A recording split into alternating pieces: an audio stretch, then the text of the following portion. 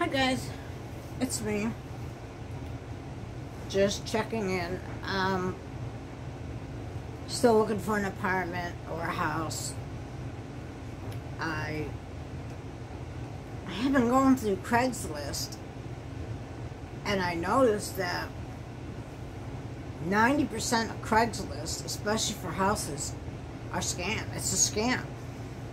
You you see something you like, you say I'm interested in a property, and they text you back and they say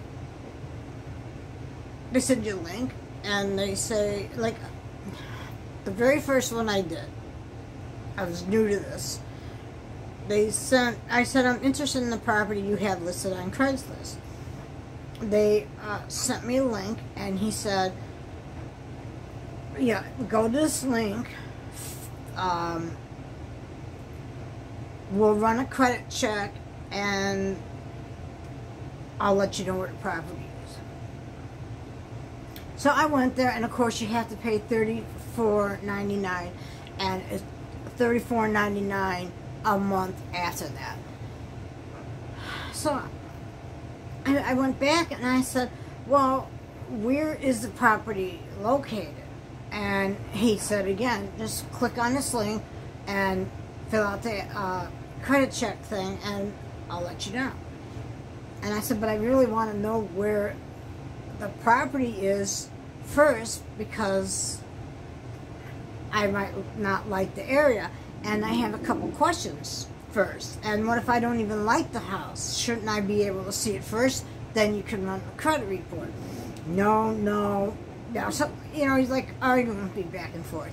This happened probably eight more times to different properties.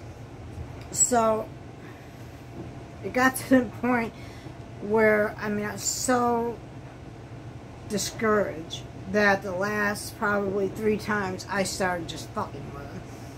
And I just kept asking questions, no matter how many times they told me just please, please, dear person, please fill out the credit check and I'll tell you everything you want. I would still keep asking questions. Do you allow pets? And all that information's on the ad.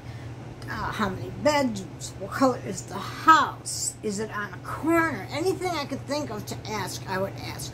And they would be getting mad and they would go, hey, hey, please just fill out the uh, credit check. I will answer all those questions. Just please fill it out. I will not answer any more questions. Just fill out the credit report thing. And it's like you wish you could hear them. So that's why, yeah, that's what's going on. I haven't talked to one single landlord yet.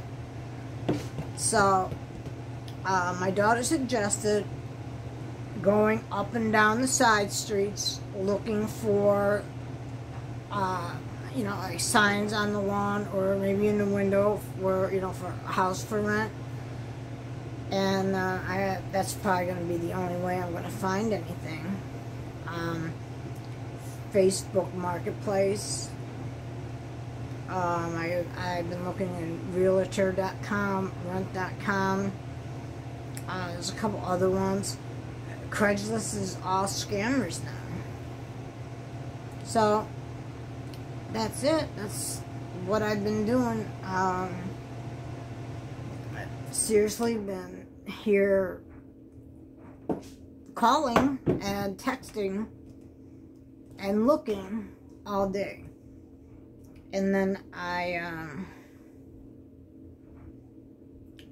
uh, trying to get a number for uh, help with rent for senior citizens, but I I do think that with the dis the disability and the um, being a widow, the money I get for being a widow, I make too much money to get help with that. But I probably can uh, get into a senior citizen place that is like subsidized The only problem I'm having is a lot of them only allow one pet, and a lot of them will not accept dogs, just a cat. So, I got that problem. I also had the problem of the uh, one electric company where the after I moved, the person didn't change it into their name, and you know my mistake was not checking to see, and I let it go, and that's nine hundred dollars. So I got to make sure it's not that electric company. I got things going against me, so it's very stressful.